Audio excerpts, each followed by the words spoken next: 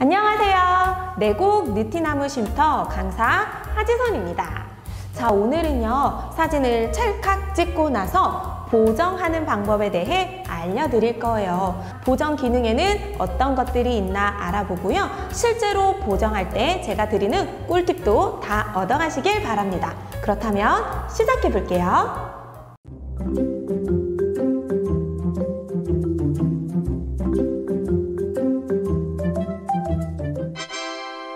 저랑 같은 사진으로 보정하는 게 아무래도 배우는 맛이 나겠죠?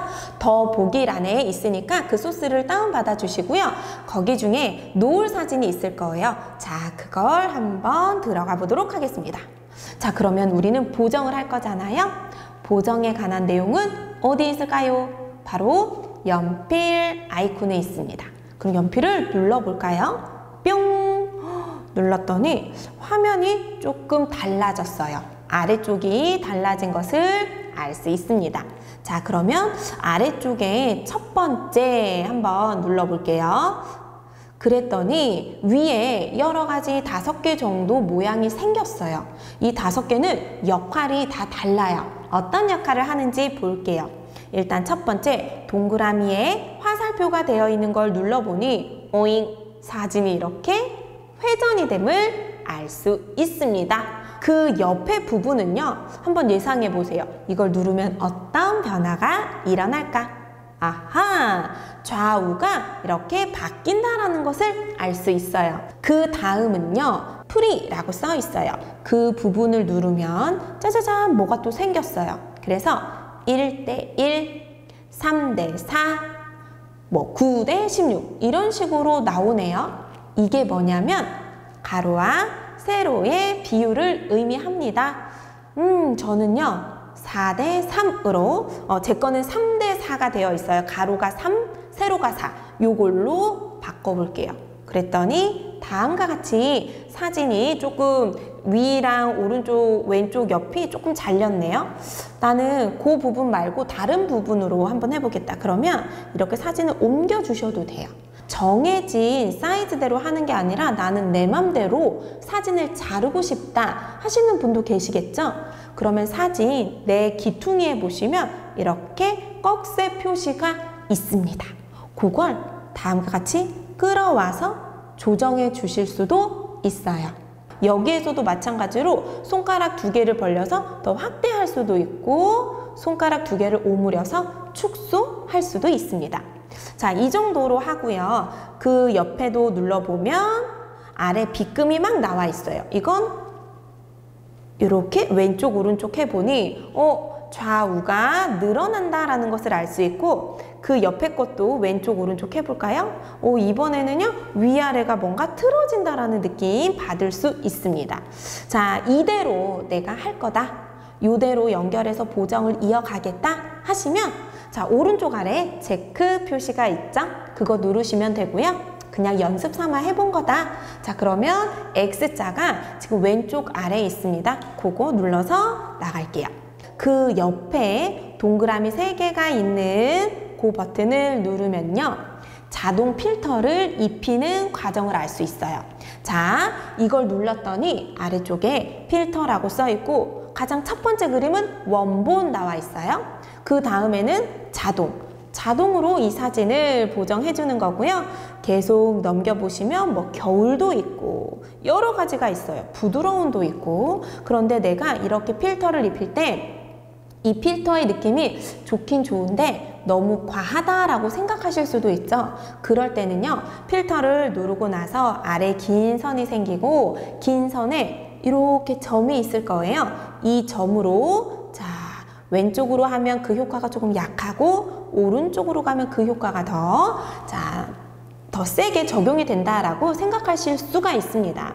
사진을 보정할 때는요, 나는 감각도 없고 자신이 없다 하시면 이렇게 아예 자동 필터를 어, 빌려서 이걸로 내가 조정을 해 주셔도 관계 없어요. 그런데 나는 이렇게 자동 필터로 하는 것보다는 내가 스스로 한번 보정을 해보겠다. 더 욕심나는 분도 계시겠죠? 그럴 때는 필터 옆에 자, 이렇게 동그라미에 빗금 쳐져 있는 부분 한번 눌러볼게요. 그러면 다 따로따로 항목이 위에 또 바뀌게 떴습니다. 밝기. 그 다음 제 거는 노출이 나와 있어요. 밝기와 노출은 비슷하다라고 생각하시면 되고 대비가 나와 있고 그 옆에는 하이라이트 그리고 그림자 이렇게 있네요. 자, 밝기와 노출은 정말 밝기를 조절하는 거고요. 대비는 한번 오른쪽으로 점을 이동시켜 볼까요? 뭔가 사진이 굉장히 강렬해졌죠?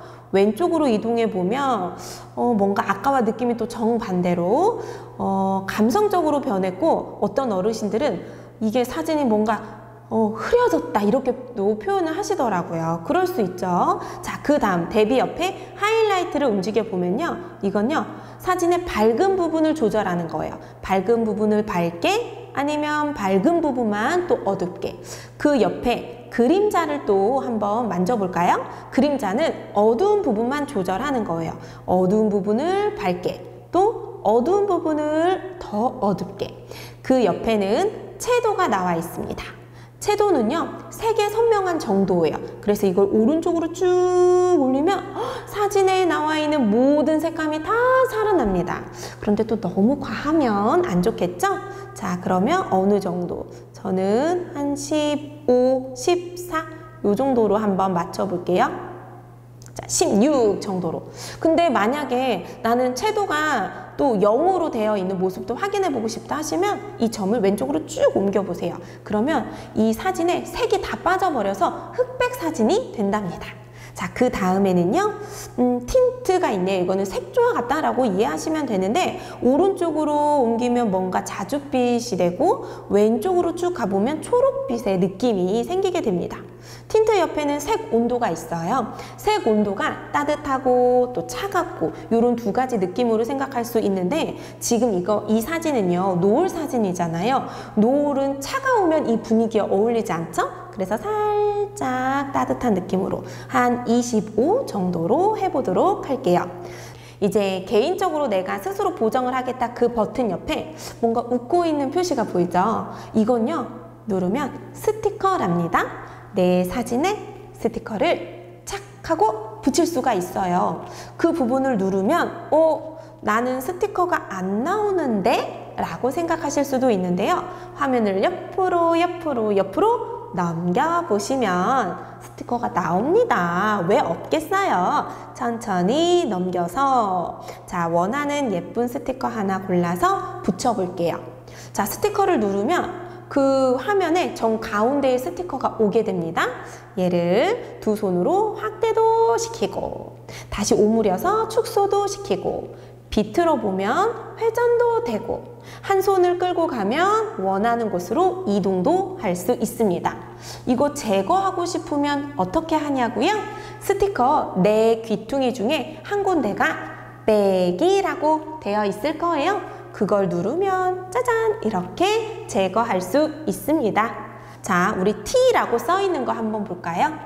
스마트폰에서 T라는 건 텍스트 입력을 의미합니다. 따라서 T 눌렀더니 이렇게 또 키보드까지 열렸죠? 여기에 자 예쁜 문구 적어볼게요. 저는 그냥 행복이라고 적을 거예요. 자, 이 스타일도 변신시킬 수 있는데요. 가운데 부분에 얇게라고 되어 있는 걸 한 번 더 눌렀더니 기본으로 변하고 또 한 번 눌렀더니 그림자, 그 다음 깔끔 이런 식으로 변합니다. 그 다음 오른쪽에 또 T라고 되어 있는데 이 부분을 누르면 배경이 생겼다, 옅어졌다, 없어졌다 또 이렇게 된다라는 거 기억해 주시고요. 완료 눌러볼게요. 자 그러면 또 내 사진 가운데 대문짝만, 대문짝만하게 행복이라고 써 있네요. 너무 커서 분위기를 다 망치고 있어요. 그러면 두 손가락으로 줄여서 사이즈를 줄여보고 자 그리고 위쪽으로 끌고 가서 자 자리를 한번 잡아 볼게요. 나는 이 정도로 해서 이 사진의 이제 보정을 끝내겠다 하시면 맨 위에 저장이라고 되어 있습니다. 그 부분을 눌러서 저장해 주시면 되겠어요. 자, 이 사진 들어가 보고 역시 마찬가지로 얘를 보정할 거니까 어떤 버튼 누르면 될까요? 어떤 버튼? 연필 버튼. 그게 바로 편집의 의미다라고 했습니다. 자, 그럼 연필 버튼 눌러주시고요. 자, 여기에서 역시 우리가 필터를 한번 입혀 볼 건데요. 자동 필터니까 왼쪽에서 두 번째 눌러주시면 자, 쭉쭉쭉쭉쭉쭉 해서 이것도 거의 끝에쯤 있더라고요. 밝은 불꽃이라는 부분이 있습니다. 요거 눌러줬더니 한쪽에서 강렬한 태양빛이 느껴지시죠? 너무 멋있어요. 저도 이 필터 굉장히 좋아하시는데 제가 소개시켜 드린 어르신들 중에서 이거 싫다고 하시는 어르신들 한 분도 없습니다. 마음에 드실 거예요? 나는 이게 너무 강렬하다 하신 분은 아래에 있는 선으로 또 그 강도를 조절해 주시면 되고요. 그런 다음 우리 아래쪽에 다시 옮겨 볼 건데요. 바로 맨 끝으로 가면 점점점점점점 동그라미가 있고 지우개처럼 생긴 부분이 있어요. 요거 한번 눌러 볼게요. 자, 이거는 재밌는 효과인데요. 내가 사진에서 다 마음에 드는데 요거 하나만 없었으면 좋겠다 요런 것들 있을 거예요 자 저는요 이 사진이 다 괜찮은데 슬리퍼가 나온 게 조금 마음에 안 들어요 그래서 일단 이 사진을 한번 확대해서 슬리퍼를 가운데 두고요 얘를 슬리퍼를 딱 눌러봤더니 오 슬리퍼 부분의 색깔이 변했어요 그쵸 자 누르고 나면 아래에 지우기라는 버튼이 뜹니다 그거 눌러볼게요 감쪽같이 모래사장 위에 분명히 슬리퍼가 있었는데 없어졌습니다. 맞나요? 아래쪽에 체크 눌러볼게요. 오, 어때요? 가운데 내 눈에 자꾸 거슬렸던 부분이 지워졌어요. 스마트폰에 이 기본으로 저장되어 있는 보정 앱 기술이 이렇게나 발달했다는 사실. 그런데 오른쪽 귀퉁이에도 그 나머지 슬리퍼 한 짝이 또 있거든요. 마저 지워볼게요. 자, 역시 자 영역 지우기 버튼 눌러주시고요. 또 화면을 확대해 주시고 지우고자 하는 걸 살짝 터치하면 저절로 인식합니다. 그리고 지우기 눌러볼게요. 자, 그리고 나서 아래에 체크. 어때요? 이렇게 아까 눈에 거슬렸던 슬리퍼 한 짝, 두 짝 이게 아주 감쪽같이 사라졌습니다. 조금 아쉬운데요. 여기에 자, 우리 개별 보정으로 들어가 볼게요. 동그라미에 빗금 쳐져 있는 거. 그런 다음 채도를 찾아보세요. 채도. 요걸 살짝만 올려보면 하늘빛이 좀 더 파란 느낌으로 다가오는 것을 알 수 있습니다. 저는 이 상태로 해서 저장을 해볼게요.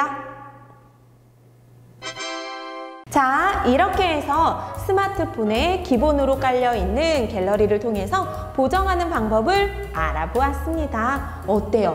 보정을 거치고 나니까 그 전과 후가 정말 큰 차이가 있죠? 자, 여러 번 연습을 통해서 나만의 멋진 사진을 보정해 보시길 바랍니다. 그럼 다음 시간에 만나요. 안녕!